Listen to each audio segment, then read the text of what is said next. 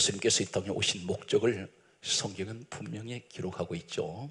마태복음 1장 21절에 성경은 이렇게 선언합니다. 천사가 와서 먼저 이 땅에 예수님 오시기 전에 천사가 와서 전해준 말은 이름을 예수라 하나 이는 자기 백성을 죄에서 구원하시기 위하여 구원하시기 위해서 오셨죠. 그렇다면 예수 그리스도의 십자가로 나는 예수 그리스도의 십자가에서 흘리신 것 피로 나는 죄 사함을 받았고 나는 구원 받았습니다. 이 사실 믿습니까? 그래서 성경은 또 이렇게 말씀하지요. 요한 1서 요한 1서 1장 7절에 말씀하기를 예수의 피가 우리를 모든 죄에서 모든 죄에서 깨끗하게 하실 것이요 모든 죄에서 깨끗해졌습니다. 그러면 죄 문제 때문에 하나님 앞에 가까이 나가지 못하던 자가 이제는 예수 그리스도 피로 죄가 다 깨끗해졌기 때문에 우리 하나님 앞에 나갈 수가 있었고 그래서 성경은 이렇게 말씀하고 있습니다. 요한복음 1장 12절에 말씀하기를 영접하는 자, 곧 그 이름을 믿는 자, 그 이름이 누구예요? 예수 이름을 믿는 자에게는 하나님의 자녀되는 권세를 주셨어요. 우리 하나님 자녀된 권세 받았죠. 그럼 이 사실 한 가지만 가지고도 우리는 당당할 수가 있습니다. 그런데 이제 주님 앞에 나와서 능력 달라 그러고 세상 여러 가지를 구합니다. 그런데 하나님이 기뻐하는 사람이 있어요. 우리가 자녀들을 이렇게 여러 명을 낳아서 아이들이 같은 지붕 아래에서 성장하는 것을 보면은 어떤 자녀를 보면 굉장히 마음이 기뻐요. 근데 어떤 자녀는 마음이 근심이 돼. 저 아이가 앞으로 어떻게 될까? 그런데 똑같이 하나님께서 보실 때 다 하나님의 자녀들인데 하나님이 유난히 기뻐하는 사람이 있습니다. 유난히 사랑하세요. 그리고 이 사람을 하나님 성경이 이렇게 강조합니다. 내 마음에 맞은지라. 그럼 마음에 맞았더니 어떤 일이 생기냐면 내가 나의 뜻을 다 이루시겠다는 겁니다. 하나님 뜻이 이 세상을 향한 하나님 뜻이 그 사람을 통해서 다 이루어진다는 거예요. 요사이는 분노 조절 장애를 앓고 있는 사람이 많습니다. 이 분노가 조절이 안 돼요. 그래서 사소한 말 한마디에도 부부 사이에 화를 내고 그리고 그것이 마음이 삭혀지지가 않습니다. 전에 같으면 대수롭지 않게 흘러넘기는 이야기도 왜 이렇게 각박하게 세상이 돌아가는지 내 마음마저 마음이 여유가 없어요. 마음에서 낭만도 잃어버렸습니다. 과거에 코스모스가 하늘 하늘 바람에 흔들리는 것 봐도 마음이 뭉클뭉클한 감정이 있었는데 지금은 감정이라고 말라버렸습니다. 왜 그럴까요? 너무 생활에 쫓기니까. 그런데 오늘 이 자리에 하나님 무엇을 주세요 하지 않아도 하나님께서 내가 다 채워주겠다 하시는 분들이 있습니다. 오늘 한 가지 키. 저는 제 설교는 항상 주제가 한 가지예요. 그 시작부터 끝까지 그냥 가는데 오늘 이 자리에 말씀을 듣고 계시다가 또 한 가지 성경에서 말씀하는 마귀가 언제 들어갈까? 사람 몸속에 기어 들어갈 때 언제 이 사단 마귀가 악한 영이 내 몸으로 타고 들어올까? 들어오는 줄 모르고 들어왔습니다. 그래서 이것이 잠복을 하고 있어요. 여러분 몸에 병 들어오면 병이 어떤 병은 10년 이상 잠복되고 있다가 이 정세가 나타난 사람이 있다는 것입니다. 이런 병이 있다는 거예요. 그리고 악한 영이 내 마음에 자리 잡았을 때 10년이 흘러가고 15년이 흘러갔을 때 사탄마귀가 때가 되면 정체를 드러낼 때가 있다는 것입니다. 오늘 그렇기 때문에 우리는 항상 내 마음에 성령님을 모시고 내 마음에 예수 그리스도가 계시게 하라 그러셨으니 오늘 이 시간 그 축복의 주인공이 바로 여러분이 되시기 바랍니다. 성경 말씀을 소개하겠습니다. 시편 37편 11절과 78편 6절 말씀을 소개합니다. 땅을 차지하는 사람이 있어요. 땅을. 그리고 풍성한 화평으로 절구하는 사람이 있다는 것입니다. 이 화평이 보통 화평이 아니에요. 풍성한 화평을 가진 사람이 있는데 따라하십시오. 온유한 사람은 땅을 차지하리로다. 거기에 따라서 풍성한 화평으로 즐거워하리로다. 누가? 온유한 사람. 성경은 분명히 10편 37편 11절에 그렇게 말씀하고 있습니다. 하나님 말씀입니다. 온유해라. 무슨 말입니까? 분노 장애를 앓고 있는 이 시대에 정신줄알은요 전부 사람을 혈기나게 만들고 사건 사고는 말이죠. 하루가 멀다고 사람 죽였다는 소리가 신문지선에 떠들썩합니다. 오늘 이것이 길 가는 사람들한테 묻지마 살인을 하는 사람 전혀 저 사람 아, 만난 적이 없는 사람들 다가와서 구타를 하는 사람들 시비 거는 사람들. 이러한 것들이 이 세상에 만연한 이 시대에 하나님 말씀입니다. 너 온유한 사람 되어라. 이 온유는 덕 있는 사람 마음이 의진 사람들 그리고 항상 사람들에게 따뜻한 마음으로 친절을 베풀고 말 한마디라도 부드럽게 사람들을 격려해주고 위로해주는 이러한 사람들이 되면은 이 사람은 땅을 차지한다 있습니다. 그리고 풍성한 화평이 풍성해요. 이 사람은 어느 곳에 가든지 화평이 풍성한 사람이 되어서 날마다 즐거워하는 그래서 풍성한 화평으로 즐거워하리로다. 이렇게 말씀하고 있습니다. 여러분 구원 받았다고 자부하세요? 반드시 하나님을 아버지로 부른다면 어딘가는 닮아야 된다고요 이 세상의 모든 자녀는 10명의 자녀를 두었던 몇 명의 자녀를 두었던 이 아이들은 반드시 어딘가는 그 부모님을 닮았습니다. 근데 우리는 하나님을 닮은 흔적이 없잖아요. 그분이 누구신가요? 성경 말씀은 이렇게 기록하고 있습니다. 마태복음 11장 29절 말씀을 보면 예수님께서 친히 말씀하세요. 예수님께서. 뭐라고 말씀하냐면 나는 마음이 온유하고 겸손하니 반드시 사람 성들은 마음이 부드럽고 마음이 덕 있는 사람 이런 사람은요 항상 무엇이 같이 따르냐? 겸손이 따라와요. 교만한 사람은 절대 마음이 온유하지가 않습니다. 혈기만 가득해요. 자기 잘났다고 교만만 가득합니다. 예수님 말씀하셨습니다. 우리 예수님은 온유하시고 겸손하세요. 그래서 이 온유는 어디서 온 것이냐면 예수님께로부터 왔다는 것입니다. 과연 그분이 누구신가요? 빌립보서 성경 말씀을 보면 빌립보서 2장 6절에 우리 예수님이 근본 하나님 본체라고 하십니다. 본체, 하나님 본체 그분이 천지 우주 만물을 창조하신 분이 그분이 이 땅에 사람의 모양으로 오셨어요. 근데 그분이 마음이 온유하세요. 그러면 예수 믿는 사람도 당연히 온유해야죠.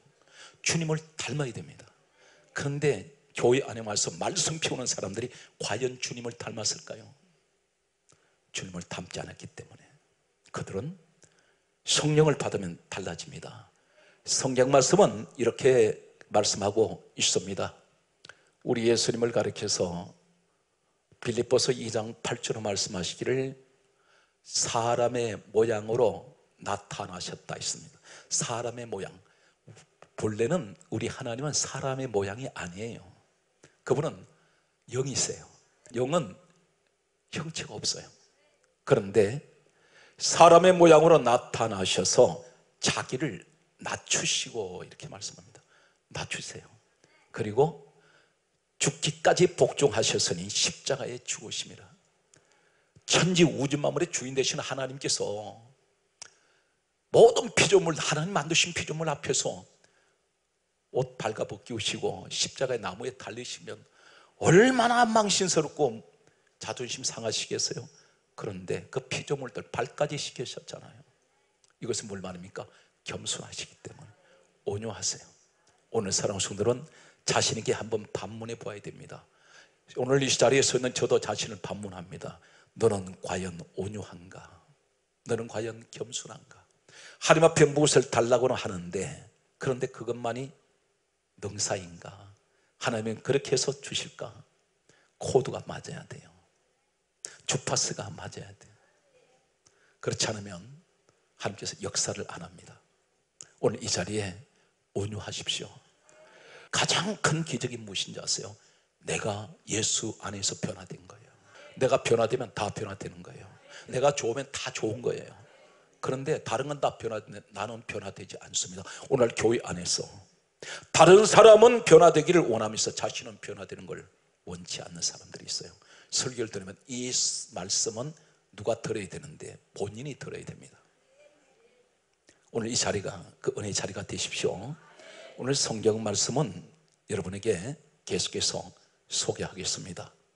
사단 마귀가 언제 내게 들어올까?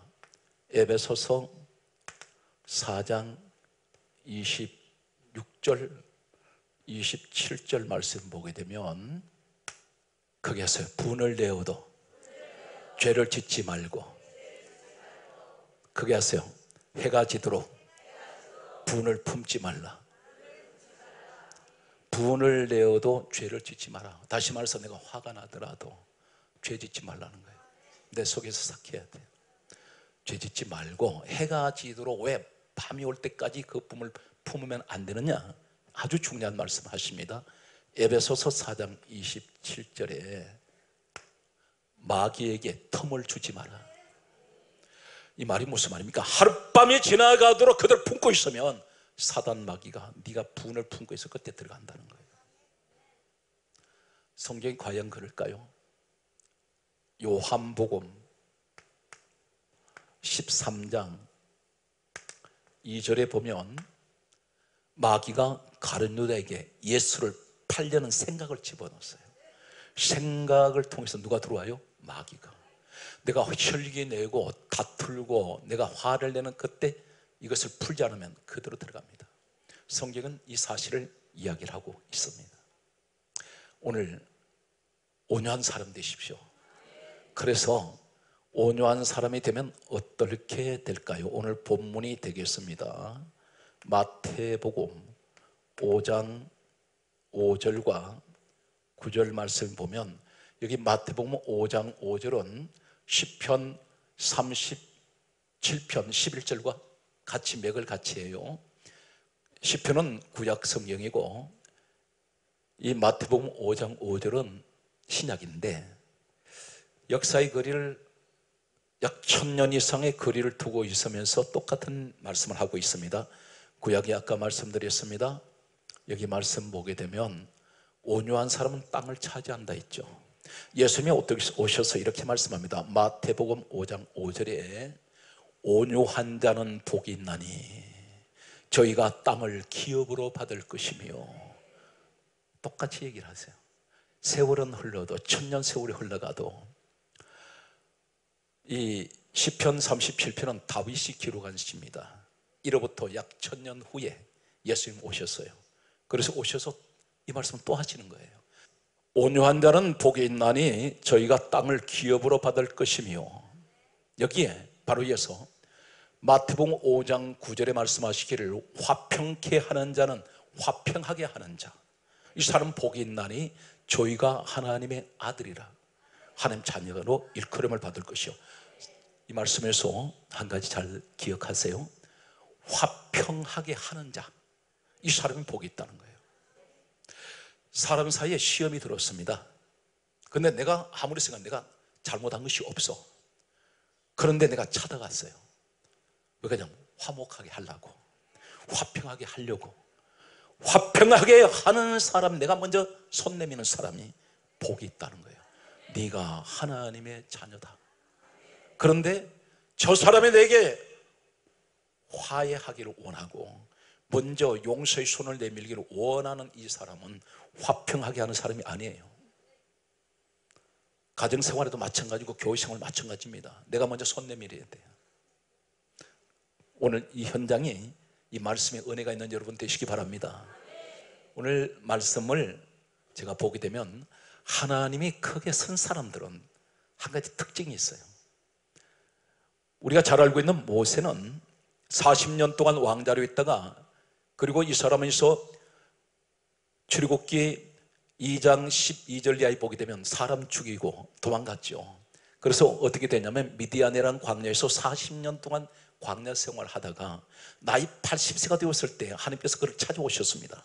그런데 한 가지 이 사람 80세신 사막에 살아가는 노인이에요. 그런데 아무 힘이 없습니다.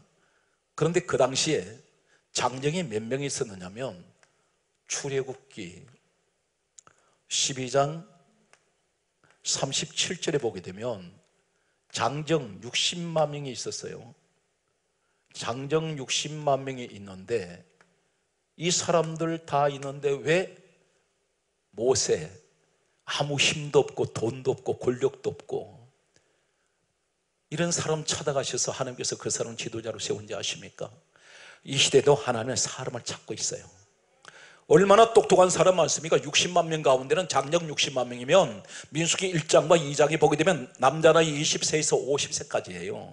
이 가운데는 똑똑한 청년들 많을 겁니다. 머리 좋은 사람 많습니다. 그런데 왜 하나님이 모세를 선택한지 아십니까? 우리가 오해를 하시면 안 됩니다. 하나님 내가 머리가 똑똑하니까 저 사람 쓰는가 봐. 머리 똑똑한 거 하나님 아무 상관없습니다. 저 사람 돈이 많으니까 서시는가 봐. 아니에요.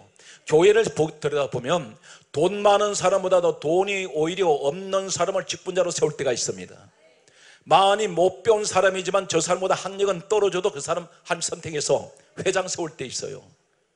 각 직분을 주실 때가 있습니다. 한 가지 우리가 여기서 오해하는 것은 능력은 하나님이 주시면 되는 거예요. 세상 모든 것들 하나님 거예요. 그분한테 점을 얼마든 주실 수 있습니다. 지혜도 주실 수가 있어. 건강도 주실 수가 있어요. 그런데 왜 모세를 선택하셨을까? 이유가 한 가지밖에 없습니다. 나이가 80세 된 모세였지만 하나님은 온 세상에 사람을 찾으셨어요. 사람을 찾으신 하나님께서는 민숙이 12장 3절에 보면 다음 같은 말씀을 하고 있습니다. 모세를 서신 이유 한 가지밖에 없어요.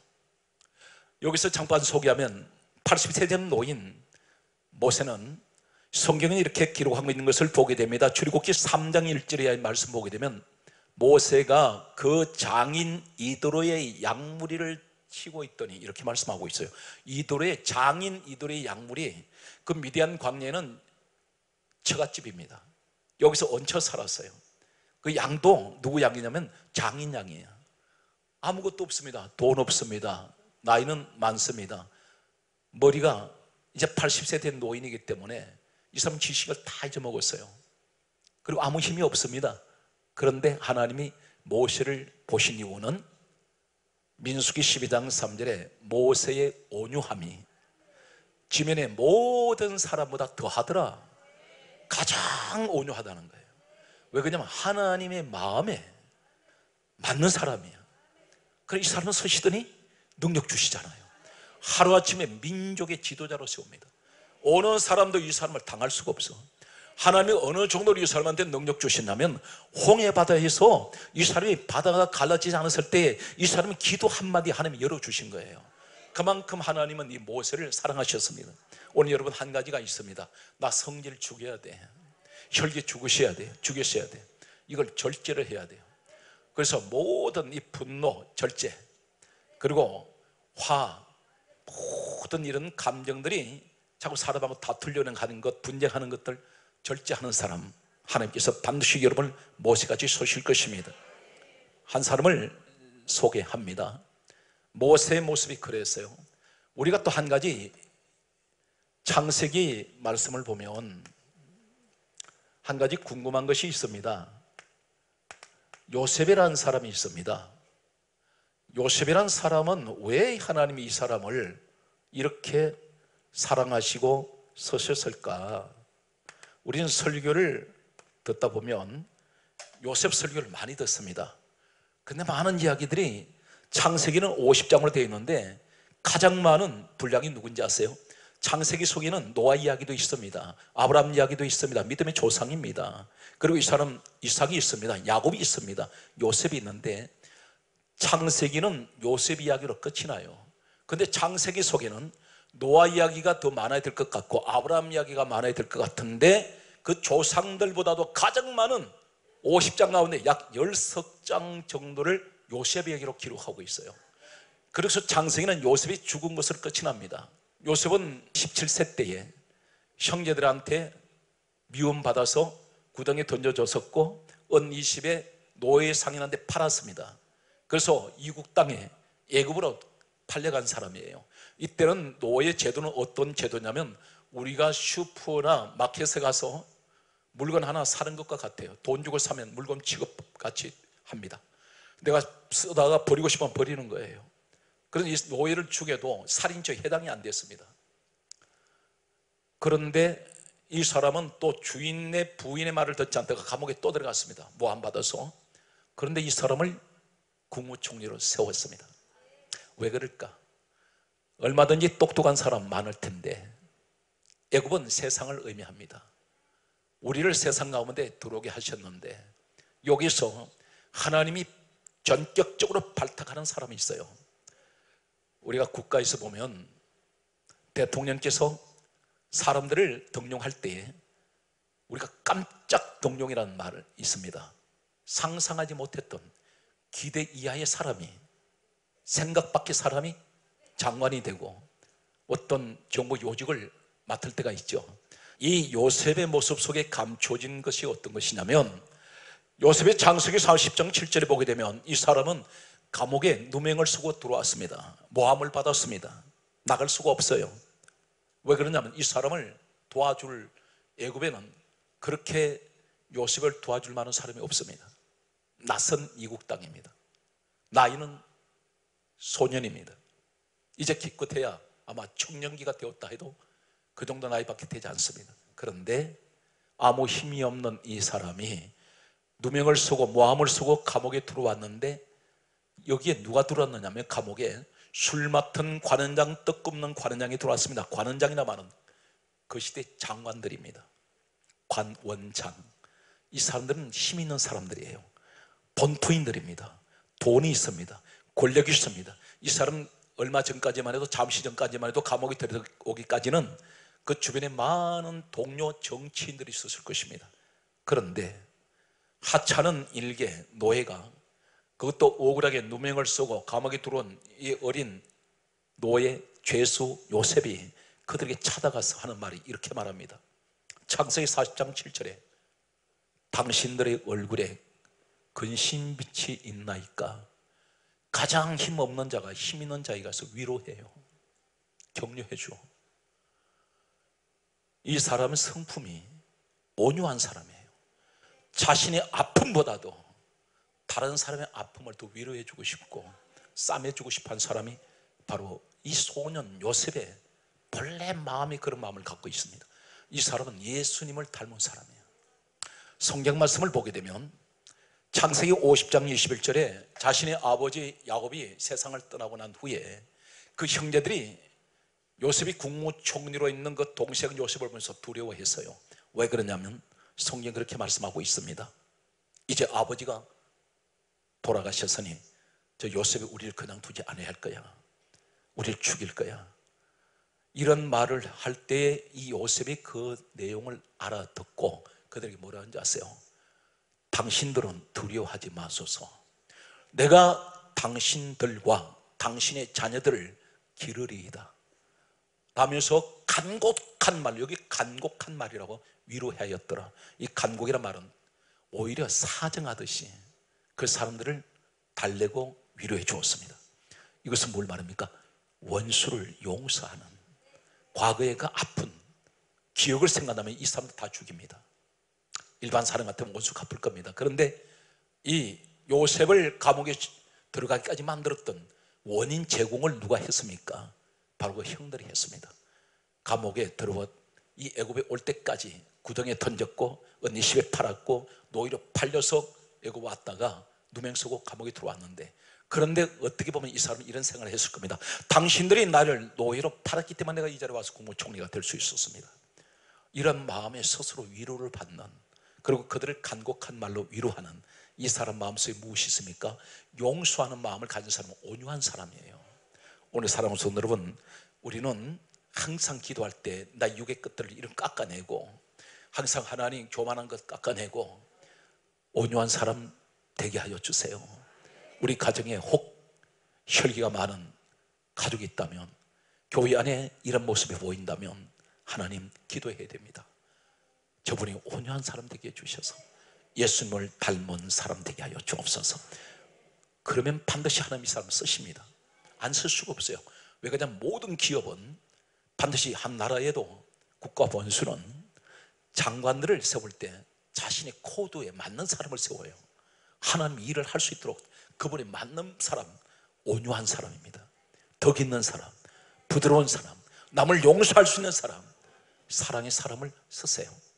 우리는 여기에서 모세 모습을 보았습니다. 요셉 모습을 보았습니다. 한 사람 구약의 한 사람을 또 찾아갑니다. 이 사람을 빼놓을 수가 없는 유명한 사람 다윗이에요 다윗이란 사람 절대적으로 반드시 하나님 기뻐하는 사람 중에 사람이에요. 이 사람 모습을 보면 사무엘상 사무엘상 24장 3절과 26장 5절 말씀과 사도행전 사도행전 13장 22절 말씀을 소개합니다. 이 다윗에게는 평생 다윗을 죽이려고 쫓아다니는 사람이 있었어요. 그 사람이 누구냐면 이스라엘 초대왕 사울왕입니다. 이 사람을 죽이려고 혈안이 된 사람이에요. 군사 3천 명을 풀어가지고 이 사람을 다윗을 죽이라고 계 속해서 쫓아다닐 때 하루 이틀이 아니었어요. 1년 2년이 아니었어요.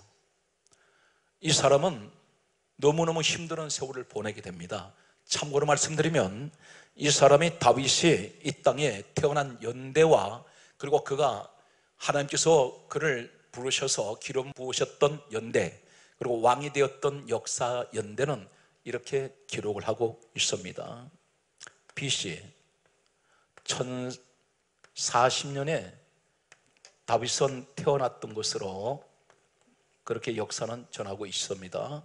그리고 BC 1025년 이 사람은 15세의 나이에 그때 하나님의 부르심을 받고 기름 부음을 받죠 그리고 그는 BC 1010년 1010년 이 사람은 나이 30세 때에 이스라엘 2대 왕으로 왕에 오르죠 그러면 여기서 우리가 만약에 1025년에 이 사람이 하나님의 부르심을 받고 기름 부음 받았다면 이때 나이가 15세입니다. 그런데 25년에서 1010년 내 왕 되었으니까 약 15년이 흘렀겠죠. 이제 이렇게 보면 이 사울 왕은 기름 부음을 받은 다윗을 죽이려고 무려 1년 2년이 아닌 15년 동안 이 사람은 도망을 다니면서 오랫동안 사울 왕으로부터 괴롭힘을 받습니다. 이 사람이 어느 날 사막 한가운데 있는 아둘람이라는 굴 속에 숨었어요. 거긴 들어왔는데 그 굴 속에 캄캄한 굴 속에 들어와 있는 이 다윗은 미리 들어와 있는 그는 그곳에 피난을 해서 피신을 해 있는데 사무엘상 24장 3절에 보니까 사울 왕이 다윗을 찾다가 그 굴 속에 들어왔어요. 들어와 있는 사람 눈에는 누가 들어오면 물체가 보입니다. 그런데 뜨거운 태양 아래에서 사막길을 걸어온 이 사람이 굴속에 들어올 때는 캄캄해서 눈에 뭐가 잘 안 보여요. 이 사울은 다윗이 거기 있는지 모릅니다. 만약에 칼이나 창을 가 찔르면 사울은 무방비 상태에서 죽어요. 그런데 학자들은 이렇게 말합니다. 옷을 가리웠다는 이런 의미로 성경에 기록되어 있는데 두 가지를 얘기를 해요. 학설에는 용변을 보러 들어왔다. 또 하나는 날씨가 항상 너무 뜨거운 중동 지역은 낮에 꼭 30분 내지 1시간은 수면을 취한대요. 낮에. 그런데 잠시 휴식을 취하러 들어왔다. 이러한 학설이 두 가지입니다. 어쨌든 굴속에 들어왔습니다. 다윗이 죽일 수 있습니다. 옆에 있는 사람이 죽여버립시다. 할 때 죽이지 마라. 이유가 뭐냐면 하나님께서 기름 부음 받은 자는 해치는 것을 금하셨다. 이 시대 누군지 아세요? 주의 종이에요. 성령의 기름 부으심 받은 종은 아무리 인간의 눈에 거슬리더라도 내가 그분을 건드리면 안 돼요. 하나님께서 하셔야 됩니다. 이해가 되십니까? 또 한 분은 이 다윗이 또 죽일 기회가 있습니다. 사무엘상 26장 5절에 보면 사울왕이 잠을 자고 있는데 다윗이 그 적진 속으로 들어갔습니다. 그런데 옆에 있는 장군이 뭐라 했냐면 창으로 찔러버립시다. 이 철천지 원수를 괴롭히는 자를 죽입시다 했더니 역시 다윗이 하는 말이 하나님의 기름 부으심 받은 자를 죽이는 것은 하나님이 금하신 것이다. 그는 하나님께서 모든 것을 알아서 하실 것이다. 성경 말씀합니다. 원수 갚는 것이 내게 있으니 우리 하나님 그렇게 말씀하셨어요. 그것을 내게 맡기라 그러셨죠. 다윗은 철저하게 말씀에 순종한 사람이에요. 오늘 여러분 가운데 내가 원수 갚고 싶은 사람이 있습니까?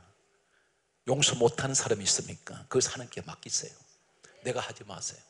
하면 반드시 원수를 갚아도 상처가 남습니다. 우리 하나님께서 하실 때는 상처가 남지 않습니다. 이 모습에서 두 번 결정적으로 다윗이 사울 왕을 죽일 기회가 있었는데도 안 죽이는 것은 무엇을 말합니까? 이 다윗에게는 덕이 있는 사람이에요. 온유한 사람이에요. 사랑이 있는 사람이에요. 그런 자기 감정 절제를 할 줄 알아요 나를 죽이려고 그토록 눈에 혈안이 되어서 쫓아다녔던 사울이었지만 이 사람은 결코 그를 원수를 원수로 갚지 않습니다. 온유한 사람이 없었습니다. 그래서 성경 강좌기를 사도행전 13장 20여 절에 하나님께서 이렇게 말씀합니다. 내가 다윗을 만나니 내 마음에 맞는지라. 내가 나의 뜻을 다 이루리라 누가 그러셨어요? 하나님께서. 오늘 이 자리에 그런 분이 계십니다. 이 자리에 나는 많은 사람들에게 하나님 참으로 많은 억울한 일 당했습니다. 그럼에도 불구하고 나는 그를 위해서 기도해 줬고 나는 그를 위해서 한 것이라고는 소원을 베푼 것밖에 없는데 내게 돌아오는 것은 항상 시험의 소리 나를 상처내는 소리. 그러나 그럴지라도 내가 다윗의 자리에 서기 원하는 것은 내 마음에 온유한 마음 주셔서 하나님 그를 내가 절대로 그 원수 갚지 않게 해주시고 나는 모든 것을 원수 갚는 것을 하나님께 내가 맡기오니 주여 뜻대로 이루어 주옵소서. 오늘 하나님 보실 때 이 다윗 같은 사람을 보시는 거 하나님 굉장히 기뻐하시는 거예요. 그래서 모세도 요셉도 다윗도 공통점 하나는 그 마음이 너그러움, 의진 마음이 있다는 거예요 우리가 이런 사람 되어야 지도자가 됩니다. 우리는 주님의 뜻대로 우리가 산다는 것이 내가 다 하나님 거잖아요. 생명도 그분 거잖아요. 할수 말씀은 제가 오늘 또 아침에 기도를 하는데 아, 눈물이 막 쏟아지더라고요. 왜 그러냐면 한국 교회가 너무 안타까워서 과연 하나님이 성도가 각 교회에 있어도 이 사람들 과연 천국 갈 사람이 얼마나 있겠습니까 마음이 막 얘가 타는 거야. 그래서 막 주의 종들 하나님 성령 주세요. 그분들에게 능력 주세요. 그리고 우선 우리가 변화되게 해주세요. 그래서 내가 변화되어야 되겠다. 그 날마다 오늘도 기도하면서 하나님 써주셔서 감사하고. 그냥 그분이 주셨다는 생각하면요. 그냥 뭔 아까운 게 하나도 없어. 사도행전 7장 60절 말씀이 있습니다 사도행전 7장 60절 보게 되면 신약 성경에 성령 받고 일곱 집사가 세워지고 난 후에 최초의 순교자가 나오는데 서대반이 나옵니다. 서대반 돌에 맞아 죽어요. 돌에 맞아 죽을 때 자신을 돌로 치는 저 사람들 때문에 내가 지금 죽는데 그 사람들한테 하나님 저 원수 갚아주세요. 그렇게 기도하지 않았어요. 성경이 이렇게 말씀합니다 주여 이 죄를 저들에게 돌리지 마옵소서 나를 죽이는 저들의 죄를. 하나님 그 죄를 저들에게 돌리지 마세요. 오늘 이러한 기도할 수 있는 이 시대에 서대반 같은 집사가 필요합니다. 예수님께서 십자가에서 죽으실 때 누가복음 23장 34절 말씀을 보게 되면 예수님께서 이렇게 십자가에서 기도하십니다. 뭐라고 기도하시냐면 아버지 저들의 죄를 사하여 주옵소서. 저들이 자신들이 하는 일을 알지 못합니다. 십자가에서 마지막 죽으시는데 주님을 못 박는 그들 채찍질했던 그들 주먹질했던 그들 온몸을 피투성이로 만들었던 채찍질하고 머리에 가시 씌웠던 그들을 향해서 저들을 사하여 주옵소서. 저들이 하는 것을 알지 못하고 있습니다.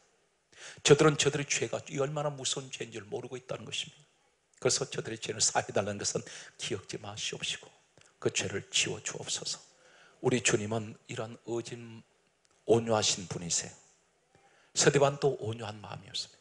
그렇다면 우리도 이러한 영적인 DNA를 받아야 되는데 우리는 그러지 못하고 있습니다 마지막 때는 사탄 마귀가 교회 안에다가 사단의 씨를 뿌리고 다니고 있습니다. 그 씨를 받으면 어떻게 되는지 아세요? 마귀 짓 하는 거예요. 우리는 성령의 능력이 임해야 됩니다. 성경 말씀을 보게 되면 요한복음 6장 64절 말씀에 보면 여러분 생각할 때 가론 유다가 어쩌다가 예수님 은삼십 팔았던 건 예수님 몰랐을 거예요 그 전에는. 왜 이런 생각을 하시는 분들이 계실 거예요? 그런데 잘 들으세요. 요한복음 6장 64절 이렇게 말씀하고 있습니다. 예수님께서 예수님을 믿지 않는 자들과 예수를 팔 자가 팔아먹을 자가 누구인지 처음부터 아십니라. 교회 안에 앉아 있어도요. 주님 눈에 다 보이는 거예요. 너 나 안 믿는구나 처음 교회 안에 들어왔을 때 우리 주님 눈에는 너는 평생 교회 다녀도 넌 나를 믿지 않는 자야. 그러기 때문에 기도하지 않고 그렇기 때문에 예배 안 드리고 그러기 때문에 교회 와서 성령의 사람이 아닌 마귀의 사람이 되어가지고 교회에 전부 손가락으로 다 훑어 핥혀버리고 주의 종 가슴 상처내고 성도 만나는 사람마다 전부 상처내버리고 절대 이러한 사탄의 짓을 하는 자들이 있음에도 불구하고 자신은 구원받았다고 착각하는 사람이 있다는 거죠 우리 주님은 믿지 않는 자들이 누구며 자기를 팔 자가 누구인지 처음부터 아셨다 그래요 그 자가 누구예요? 가련 유다예요 우리 예수님은 그럼에도 처음부터 저 자가 나를 팔 것이다 아시면서도 왜 그냥 계셨을까요? 주님의 온유하심 때문에요 반드시 회개하기를. 그리고 자신의 잘못을 깨닫고 돌아서기를 우리 주님은 기다리셨습니다. 그런데 또 기회를 주세요. 우리 주님은 처음부터 아시면서도 요한복음 13장 26절 말씀과 27절 말씀을 보면 요한복음 13장 26절의 말씀 보게 되면 예수님께서 이렇게 말씀하셨을 때에 제자들이 이렇게 묻습니다 예수님의 팔자가 누굽니까?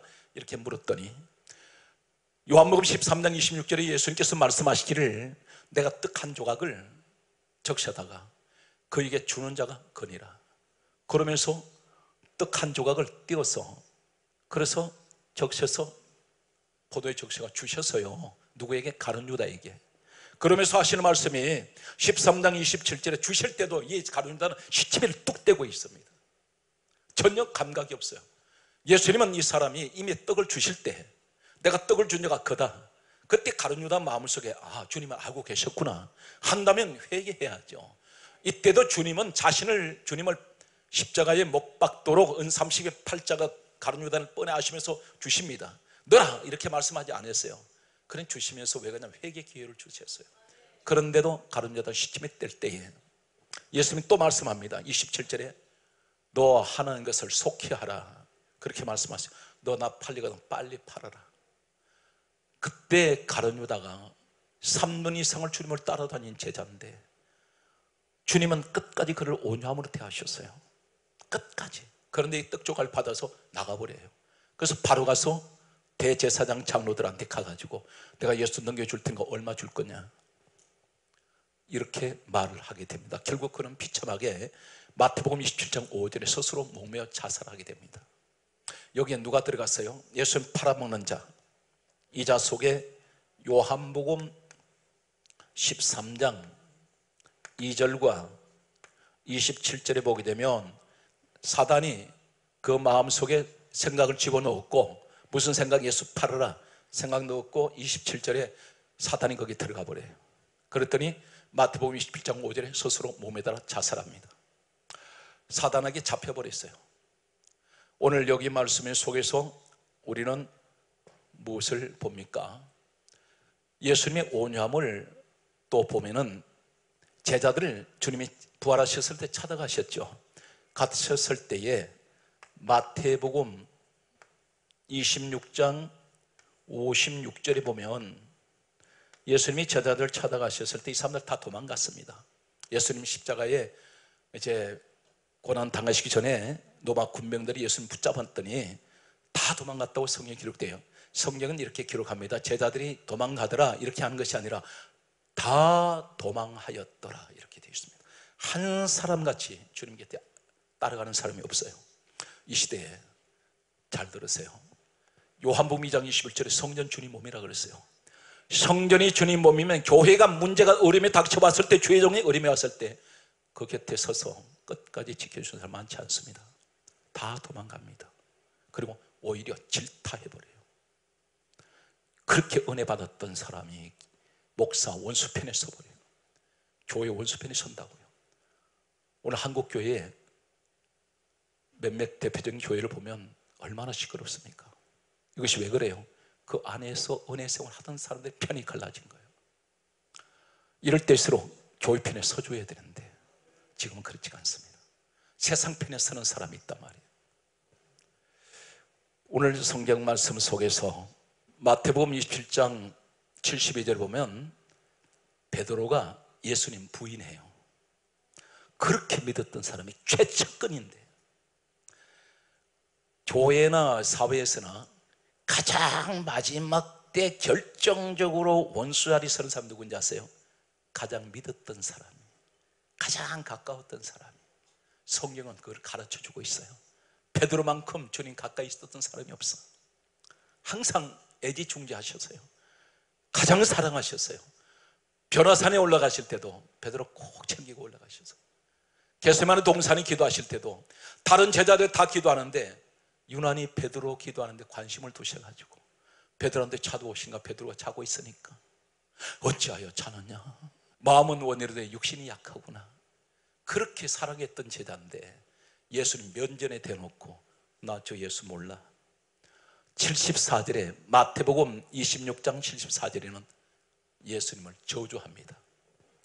오늘 이 모습 속에 하나님 그럼에도 우리 하나님은 어떻게 하세요? 우리 예수님 이 자를 버리셨을까요? 그렇지 않습니다 우리 예수님은 부활하셔가지고 제자들 찾아오셨잖아요 그리고 하신 말씀이 너희에게 평안이 있을지어다 평강이 있을지어다 주님의 온유하심 주님의 너그러우심 끝까지 원수를 사랑하시되 끝까지 사랑하시는 주님의 그 마음이 주여 내가 이 마음 갖기 원합니다. 주님의 형상을 담게 해주세요. 우리 한국교회가 이러한 교회가 되기 원합니다.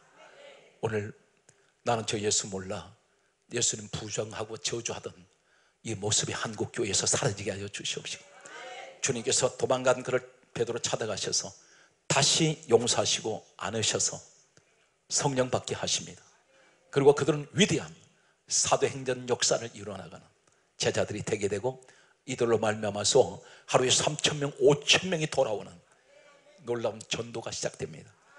오늘 여러분 가운데 한 가지 반드시 기억하십시오. 오늘 여러분 하나 나는 하나님 앞에 기도할 때 나는 능력이 없어요 하나님. 귀신을 쫓아낸 능력도 없습니다. 나는 어떤 아무런 하나님 교회에서도 난 우리 교회에서 나를 내 스스로 보기에도 남들 나를 인정해 주지 않는 사람입니다. 그러나 가장 중요한 것은 내게 주님 말씀하신 온유가 있기 원합니다.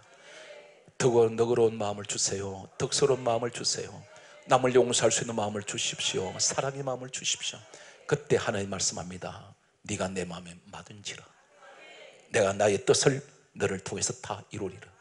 오늘 이 축복의 주인공이 여러분이 되시기를 주의 이름으로 축원합니다